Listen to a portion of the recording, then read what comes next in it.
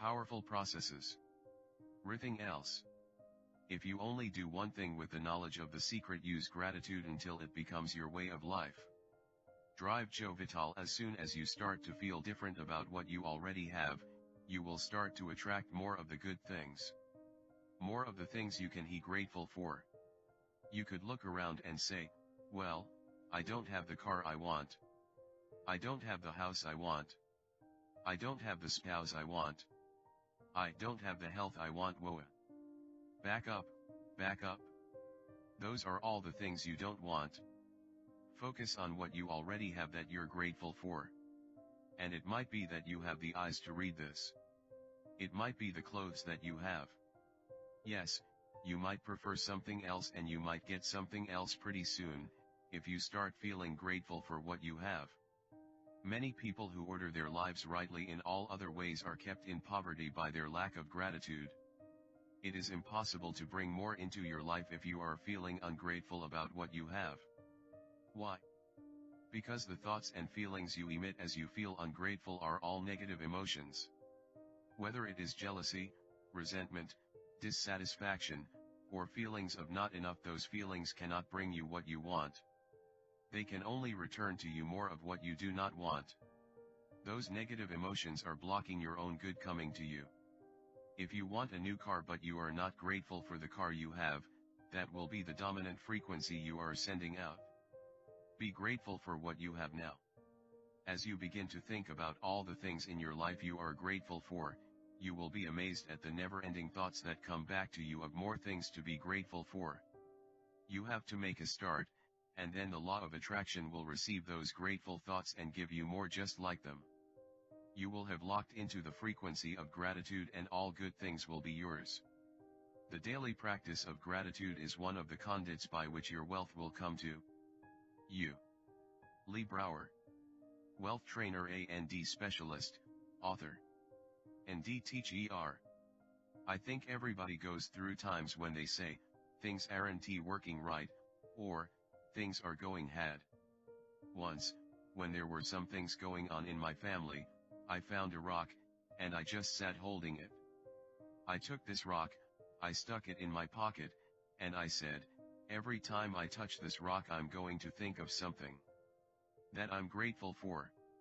So every morning when I get up in the morning, I pick it up off the dresser, I put it in my pocket, and I go through the things that I'm grateful for. At night, what do I do? I empty my pocket, and there it is again. I've had some amazing experiences with this idea. A guy from South Africa saw me drop it. He asked, what is that? I explained it to him, and he started calling it a gratitude rock. Two weeks later I got an email from him, in South Africa. And he said, my son is dying from a rare disease. It's a type of hepatitis. Would you send me three gratitude rocks? They were just ordinary rocks I found off the street, so I said, sure. I had to make sure that the rocks were very special, so I went out to the stream, picked out the right rocks, and sent them off to him. Four or five months later I get an email from him. He said, my son's better, he's doing terrific. And he said, but you need to know something. We've sold over a thousand rocks at $10 a piece as gratitude rocks, and we've raised all this money for charity. Thank you very much. So it's very important to have an attitude of gratitude. The great scientist Albert Einstein revolutionized the way we view time, space, and gravity. From his poor background and poor beginnings, you would have thought it impossible for him to achieve all that he did. Einstein knew a great deal of the secret, and he said, thank you hundreds of times each day. He thanked all. The great scientists who had preceded him for their contributions, which had enabled him to learn and achieve even more in his work, and eventually become one of the greatest scientists who has ever lived. One of the most powerful uses of gratitude can be incorporated in the creative process to turbocharge what you want. As Bob Proctor advised in the first step of the creative process, Ask, start by writing down what you want.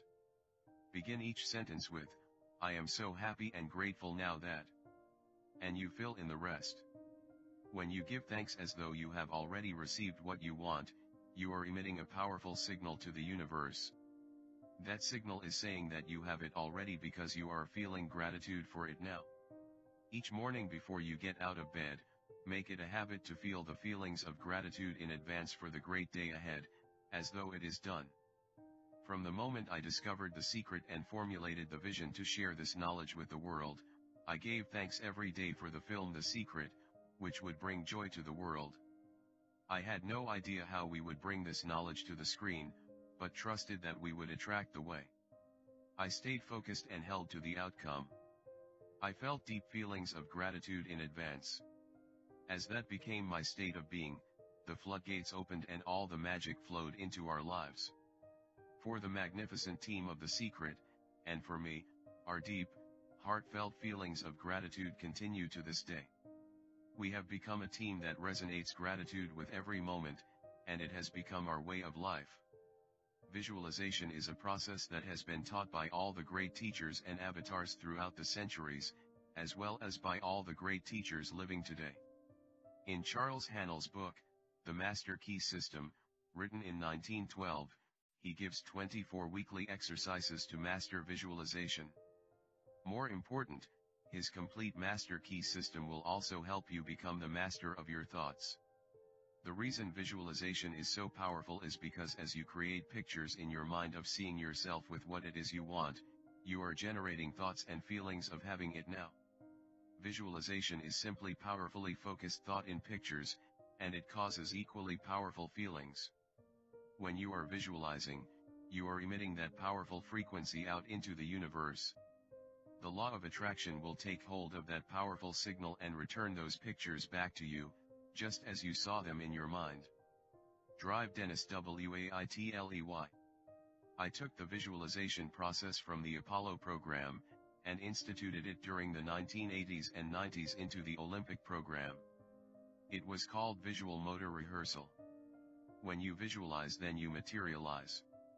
Here's an interesting thing about the mind, we took Olympic athletes and had them run their event only in their mind, and then hooked them up to sophisticated biofeedback equipment. Incredibly, the same muscles fired in the same sequence when they were running the race in their mind as when they were running it on the track. How could this be? Because the mind can't distinguish whether you're really doing it or whether it's just a practice. If you've been there in the mind you'll go there in the body. Think about the inventors and their inventions, the Wright brothers and the plane. George Eastman and film. Thomas Edison and the light bulb. Alexander Graham Bell and the telephone. The only way anything has ever been invented or created is because one person saw a picture in his mind. He saw it clearly, and by holding that picture of the end result in his mind, all the forces of the universe brought his invention into the world, through him. These men knew the secret. These were men who had utter faith in the invisible, and who knew the power within them to leverage the universe and bring the invention into the visible. Their faith and their imagination have been the cause of the evolution of humankind, and we reap the benefits of their creative minds every single day. You may be thinking, I do not have a mind like these great inventors. You may be thinking, they could imagine those things, but I can't. You could not be further from the truth, and as you continue on this great discovery of the knowledge of the secret, you will learn that you not only have the mind they had, but much more. Mike Dooley when you revisualizing, token UVE got that picture playing out in your mind, always and only dwell upon the end result. Here's an example. Look at the back of your hands, right now. Really look at the back of your hands, the color of your skin, the freckles, the blood vessels, the rings, the fingernails. Take in all those details. Right before you close your eyes, see those hands, your fingers, wrapping around the steering wheel of your brand new car. Drive Joe Vitale This is such a holographic experience so real in this moment that you don't even feel as if you need the car, because it feels like you have it already. Dr. Vitale's words brilliantly sum up the place you want to get yourself to when visualizing. When it feels like a jolt as you open your eyes in the physical world, your visualization became real. But that state, that plane, is the real. It is the field where everything is created, and the physical is just the result of the real held of all creation. That's why you won't feel as if you need it anymore, because you tuned in and felt the real field of creation through your visualization. In that field, you have everything now. When you feel that, you will know it. 84 The secret Jack Canfield It's the feeling that really creates the attraction, not just the picture or the thought. A lot of people think, if I think positive thoughts, or if I visualize having what I want, that will be enough. But if you're doing that and still not feeling abundant, or feeling loving or joyful, then it doesn't create the power of the attraction. Bob Doyle. You put yourself in the feeling place of really being in that car. Not I wish I could get that car, or, someday I'll have that car, because that's a very definite feeling associated with that. It's not in the now. It's in the future. If you stay in that feeling, it will always be in the future. Michael Bernard Beckwith. Now that feeling and that inner seeing will begin to be an open doorway through which the power of the universe will begin to express what this power is I cannot say. All know is that it exists. Jack Canfield our job is not to figure out the how. The how will show up out of a commitment and belief in the what. Mike Dooley the hows are the domain of the universe. It always knows the shortest, quickest, fastest, most harmonious way between you and your dream. Drive Joe Vitale if you turn it over to the universe, you will be surprised and dazzled by what is delivered to you. This is where magic and miracles happen. The teachers of the secret are all aware of the elements you bring into play when you visualize. As you see the picture in your mind and feel it, you are bringing yourself to a place of believing you have it now. You are also implementing trust and faith in the universe, because you are focusing on the end result and experiencing the feeling of that, without giving any attention whatsoever to how it will come about. Your picture in your mind is seeing it as done. Your feelings are seeing it as done. Your mind and your entire state of being are seeing it as already happened. That is the art of visualization. Drive Joe Vitale you want to do this virtually daily, but it should never be a chore. What's really important to the whole secret is feeling good. You want to feel exhilarated by this whole process. You want to be high, happy, in tune, as much as possible. Everyone has the power to visualize. Let me prove it to you with a picture of a kitchen. For this to work, first of all you have to get all thoughts of your kitchen out of your mind. Do not think of your kitchen. Totally clear your mind of pictures of your kitchen, with its cupboards, refrigerator, oven, tiles, and color scheme. You saw a picture of your kitchen in your mind, didn't you? Well, then you just visualized. Everyone visualizes whether he knows it or not. Visualizing is the great secret of success. Here's a tip about visualizing, which Dr. John DeMartini shares in his Breakthrough Experience seminars. John said that if you create a static picture in your mind it can be difficult to hold that picture, so create lots of movement in your picture.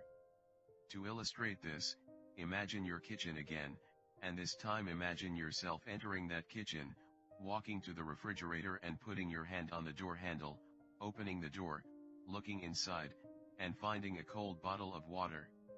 Reach in and grab it. You can feel the coldness on your hand as you grasp the bottle. You have the bottle of water in one hand, and you use your other hand to close the refrigerator door. Now that you are visualizing your kitchen with detail and movement it's easier to see and hold the picture, isn't it? We all possess more power and greater possibilities than we realize, and visualizing is one of the greatest of these powers.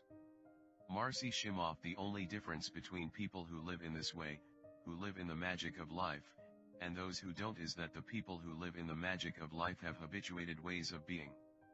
They've made a habit of using the law of attraction, and magic happens with them wherever they go. Because they remember to use it. They use it all the time, not just as a one-time event. Here are two true stories that clearly demonstrate the powerful law of attraction and the immaculate matrix of the universe in action. The first story is about a woman named Jeannie, who bought a DVD of The Secret and was watching it at least once a day so that she would absorb the message right into the cells of her body. She was particularly impressed with Bob Proctor, and she thought it would be wonderful to meet him. One morning Jeannie collected her mail, and to her utter amazement the mailman had accidentally delivered Bob Proctor's mail to her address. What Jeannie didn't know is that Bob Proctor lived just four blocks away from her. Not only that, but Jeannie's house number was the same number as Bob's. She immediately took the mail to deliver it to the correct address. Can you imagine her utter delight when the door opened and Bob Proctor was standing before her? Bob is rarely at home as he travels all over the world teaching, but the matrix of the universe knows only perfect timing. From Jeannie's thought of how wonderful it would be to meet Bob Proctor, the law of attraction moved people, circumstances, and events throughout the universe so that it happened. The second story involves a 10-year-old boy named Colin, who had seen and loved The Secret. Colin's family made a week-long visit to Disney World, and on their first day they experienced long lines at the park. So that night, just before Colin fell asleep, he thought, tomorrow I'd love to go on all the big rides and never have to wait in line. The next morning, Colin and his family were at the gates of Epcot Center as the park opened, and a Disney staff member approached and asked them if they would be Epcot's first family of the day. As first family they would be given VIP status, a special escort by a staff member, and walk-on passes for every big ride in Epcot. It was everything and more that Colin had wished for. Hundreds of families were waiting to enter Epcot that morning, but Colin didn't have the slightest doubt as to why his family had been chosen first family. He Imagine discovering at the age of 10 that the power to move worlds lies within you. Nothing can prevent your picture from coming into concrete form except the same power which gave it birth yourself. James Ray people hold that for a while, and they're really a champion at it. They say, I'm fired up. I saw this program and I'm going to change my life. And yet results aren't showing. Beneath the surface it's just about ready to break through, but the person will look just at the surface results and say, this stuff doesn't work. And you know what? The universe says, your wish is my command, and it disappears. When you allow a thought of doubt to enter your mind, the law of attraction will soon line up one doubtful thought after another. The moment a thought of doubt comes, release it immediately. Send that thought on its way. Replace it with I know I am receiving now. And feel it. John Assaraf knowing the law of attraction, I wanted to really put it to use and to see what would happen. In 1995 I started to create something called a vision board, where I take something that I want to achieve, or something that I want to attract, like a car or a watch or the soul mate of my dreams, and I put a picture of what I want up on this board. Every day I would sit in my office and I would look up at this board and I would start to visualize. I would really get into the state of having already acquired it. I was getting ready to move. We put all the furniture, all the boxes, into storage, and I made three different moves over a period of five years. And then I ended up in California and bought this house, renovated it for a year, and then had all the stuff brought from my farmer home five years earlier. One morning my son Keenan came into my office, and one of the boxes that was sealed for five years was right at the doorstep. He asked, what's in the boxes, daddy? And I said, those are my vision boards slash he then asked, What's a vision board? I said, well, it's where I put all my goals up. I cut them out and I put all my goals up as something that I want to achieve in my life. Of course at five and a half years old he didn't understand, and so I said, sweetheart, let me just show you, that'll be the easiest way to do it. I cut the box open, and on one vision board was a picture of a home that I was visualizing five years earlier. What was shocking was that we were living in that house. Not a house like it I actually bought my dream home, renovated it, and didn't even know it. I looked at that house and I started to cry, because I was just blown away. Keenan asked, why are you crying? I finally understand how the law of attraction, POWERFUL processes, works. I finally understand the power of visualization. I finally understand everything that I've read, everything that I've worked with my whole life, the way I've built companies. It worked for my home as well, and I bought our dream home and didn't even know it. Imagination is everything. It is the preview of life's coming attractions. You can let your imagination go wild with a vision board, and place pictures of all the things you want, and pictures of how you want your life to be. Make sure you put the vision board in a place where you see it and look at it every day as John Assaraf did. Feel the feelings of having those things now. As you receive, and feel gratitude for receiving, you can remove pictures and add new ones. This is a wonderful way to introduce children to the law of attraction. I hope the creation of a vision board inspires parents and teachers worldwide. One of the people on the secret website forum put a picture of the secret DVD on his vision board. He had seen the secret but didn't own his own copy. Two days after he created his vision board, I felt inspired to post a notice on the secret forum giving away DVDs to the first 10 people who posted. He was one of the ten. He had received a copy of the secret DVD within two days of putting it on his vision board. Whether it is a DVD of the secret or a house, the joy of creating and receiving is magnificent.